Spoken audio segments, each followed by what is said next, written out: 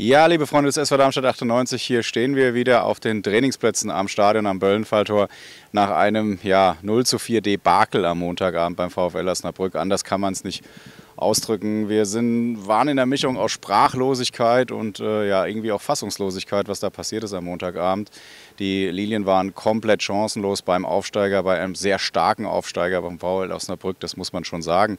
Aber die Mannschaft hat auch komplett neben sich gestanden und hat dieses 0 zu 4, das geht auch in der Höhe völlig verdient in Ordnung. Das Gute daran, wenn man überhaupt was Positives daraus ziehen kann, ist, niemand hat versucht, die Sache schön zu reden. Jeder hat zugegeben, das war einfach überhaupt nichts. Fabian Holland hat dabei die ja, deutlichsten Worte wohl gefunden. Der Mannschaftskapitän hat mehrfach das Wort Mitch gebraucht und äh, hat dann unter anderem gesagt, das wäre auch die Systemumstellung in der zweiten Halbzeit, dass die Linien plötzlich mit fünf Verteidigern mhm. spielten.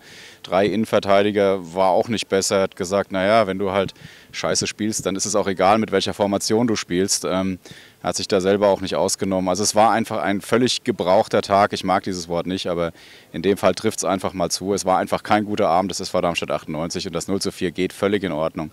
Bei, wie gesagt, einem sehr, sehr starken Gegner, aber das kann keine Ausrede sein. Das war nicht der SV Darmstadt 98, den wir hier kennen, den wir hier sehen wollen. Das haben alle gesagt, das hat Fabian Holland gesagt, das hat Dimitrios Gramotzes, der Trainer, auch irgendwie gesagt als er sagte, es gibt solche Tage, wo einfach mal gar nichts funktioniert und gestern Abend war so einer.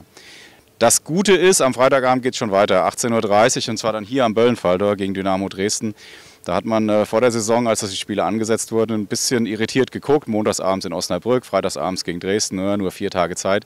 Jetzt ist man der Meinung, besser hätte es eigentlich nicht kommen können, denn man hat jetzt die Zeit tatsächlich, äh, wenig Zeit, aber das wieder gut zu machen am Freitagabend. Und das ist das große Ziel des SV Darmstadt 98, das große Ziel aller Spieler, hier sofort wieder ja, zu zeigen, was den SV Darmstadt 98 ausmacht. Die knapp 450 Fans, die gestern in Osnabrück waren, die sind zu Recht völlig frustriert nach Hause gefahren.